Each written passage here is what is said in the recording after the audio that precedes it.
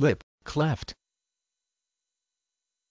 Lip cleft, a fissure in the upper lip that is due to failure of the left and right sides of the fetal lip tissue to fuse, an event that should take place by 35 days of fetal age. Cleft lip can be on one side only or on both sides because failure of lip fusion can impair the subsequent closure of the palatal shelves. Cleft lip often occurs in association with cleft palate. It is one of the most common physical birth defects, and it can be corrected with surgery.